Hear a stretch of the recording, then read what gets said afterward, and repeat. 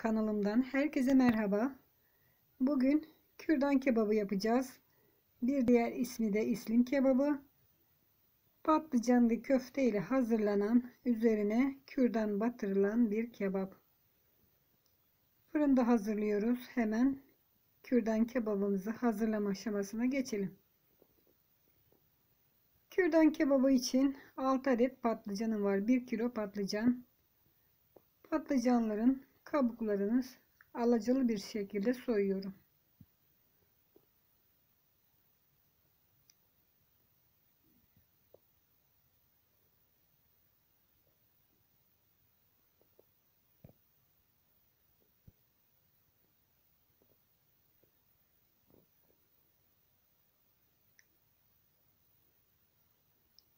Alacalı bir şekilde soyduğum patlıcanı ince dilimler halinde doğrayacağım. Şöyle uzun uzun dilimler yapıyorum. Bu şekilde doğruyoruz.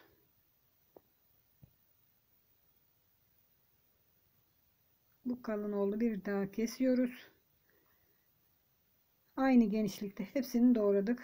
Diğer patlıcanları da aynı işlemi uygulayacağım.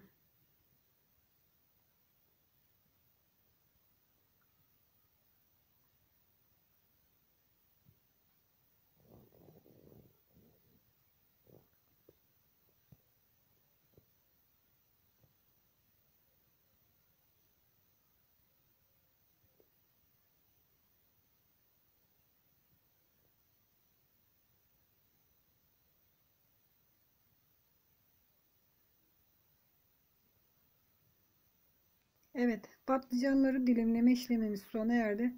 Şimdi üzerine bolcana tuz serpiyoruz. Tuz patlıcanın acısını çıkaracaktır. Şöyle bolca serpeledim ve alt üst çeviriyorum. Biraz da üzerine serpelim. Evet tuzladık ve üzerine şimdi su döküyoruz. Çıkacak kadar patlıcanların üzerine çıkacak kadar suyu koyduk. Evet bunlar şimdi bir kenarda beklesin. Patlıcanlarımız. Şimdi köfteyi hazırlamaya geçelim.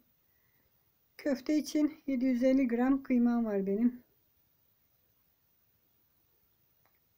Kıymanın içine göz ayarı tuz,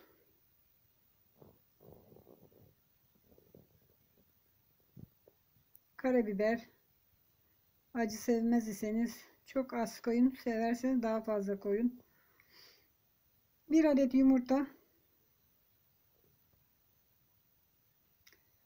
2 adet soğan rendesi. Ufak olduğu, olduğu için soğanlarım 2 adet doğradım. Bir dilim ekmek içi ufalanmış nanelerimiz var.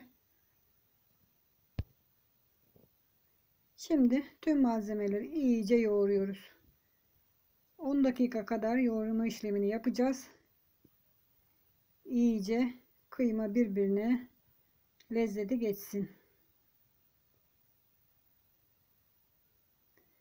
Evet kıymayı yoğurduk. Şimdi köfteleri hazırlıyoruz. Şöyle büyük büyük köfteler yapacağız.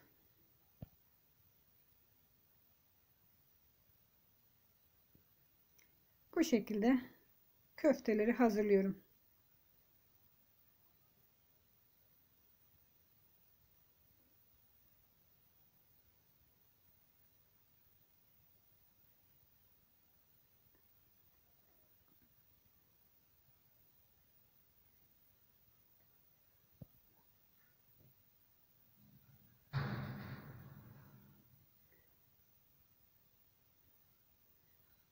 Evet köfteleri hazırlama aşaması bitti.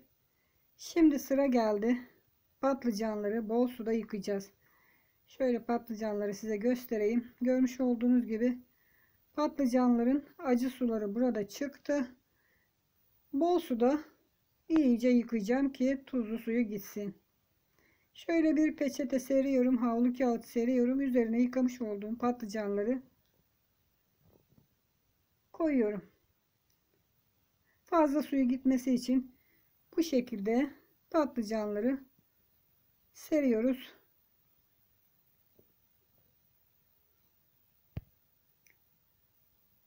Evet. Patlıcanlarımız hazır. Şimdi sıra geldi kızartmaya. Bir tavanın içine bir miktar sıvı yağ koyuyoruz. Ve patlıcanları alt üst kızartıyoruz. Kızarttığımız patlıcanları yine havlu kağıt üzerine koyuyoruz ki fazla yağı gitsin. Bu şekilde tüm patlıcanlarımızı kızarttık. Köftelerimizi de aynı işlem aynı tavanın içinde alt üst kızartıyoruz.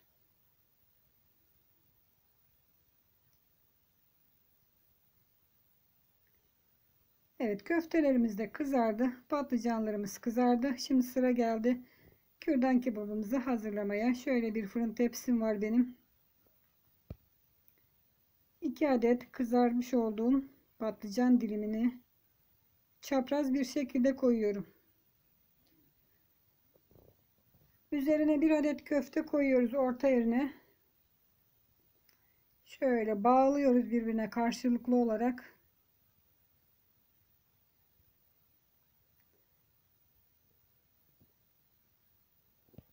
Burada dilimlenmiş domateslerim var. Doğranmış biberlerim var.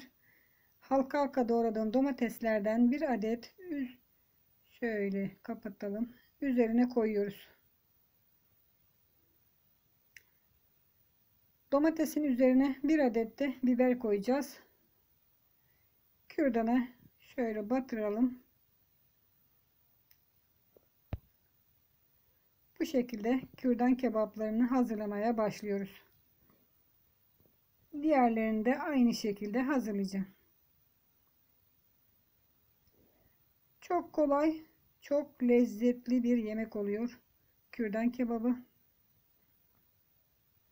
Biraz zahmetli gibi görünse de aslında hiç de değil.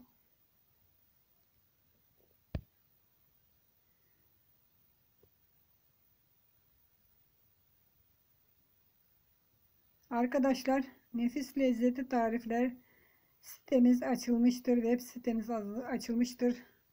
Sitemize abone olabilirsiniz. Tarifleri beğenebilirsiniz. Sizler de tarif yazabilirsiniz. Hepinizi sitemize bekliyoruz. Evet gördüğünüz gibi kürdan kebabı hazırladım ama tepsim biraz büyük geldiği için daha küçük bir tepsiye çıkardım. Şimdi üzerine bir yemek kaşığı biber salçası var. 2 su bardağı kadar da su döküyorum ve eritiyorum biber salçasını.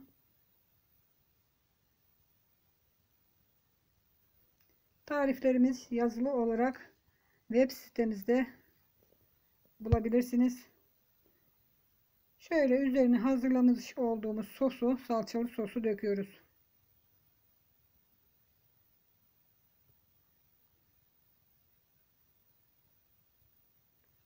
Harika oldular. Biraz da sarımsak koyuyorum şöyle aralarına. Kaynadığı zaman lezzetini alacaktır. Ve fırına pişmek üzere veriyorum. 10 dakika pişireceğim. Kızarmaya başlar başlamaz üzerine yağlı kağıt kapatacağım ki yanmasın. Bir miktarda tuz serptim ve 200 derece fırına pişmek üzere veriyorum. Evet 10 dakika sonra yağlı kağıt üzerine sermiştim bakın. Muhteşem görünüyor. Harika oldular. Kürdan kebabımız hazır. Umarım sizler için hazırlamış olduğum kürdan kebabı tarifini beğenmişsinizdir. Tariflerimi beğeniyorsanız beğen tuşuna, kanalıma abone olmadıysanız abone ol tuşuna basmayı unutmayın. Hoşçakalın, afiyetle kalın.